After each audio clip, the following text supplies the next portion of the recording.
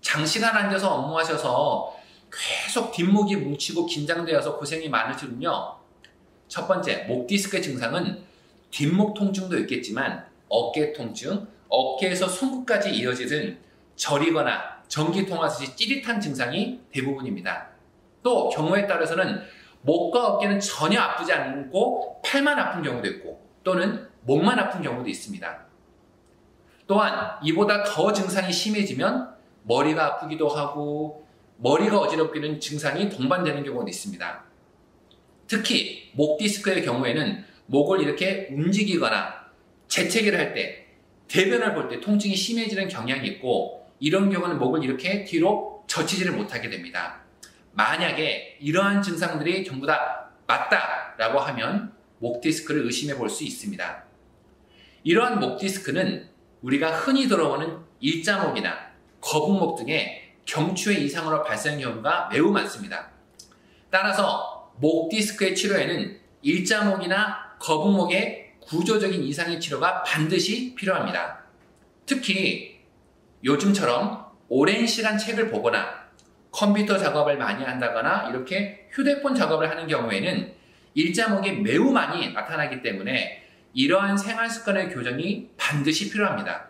그래서 컴퓨터를 할 때는 가장 중요한 것은 모니터 받침대를 적어도 눈높이까지 올려서 경추부 근육을 반드시 스트레칭을 해주고 근육을 딱딱하게 뭉치는 것을 예방해 주는 게 좋습니다. 서면상으로 상담드리고 있어서 환자분의 정확한 상태를 알기가 어렵기 때문에 먼저 엑스레이나 MR을 찍은 경우에는 정확한 검사를 해보시고 그에 맞추어서 의료진의 진료를 받아보셨으면 합니다. 일반적으로 한방병원에서 실시하는 비수술적 치료 방법은 특히 6가지가 있습니다. 첫 번째, 막힌 경락을 소통시키고 근육을 이완시켜 줄 수 있는 침구 치료.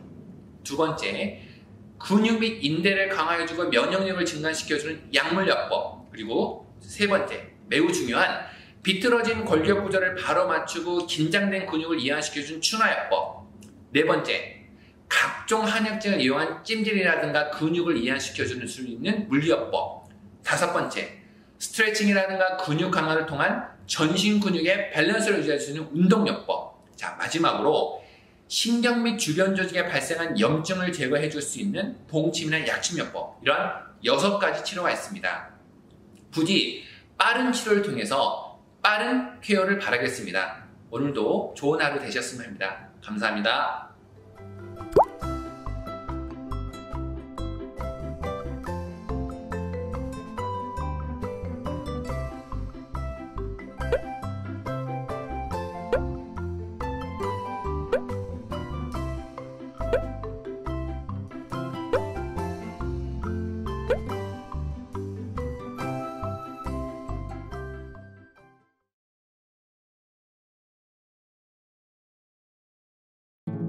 자세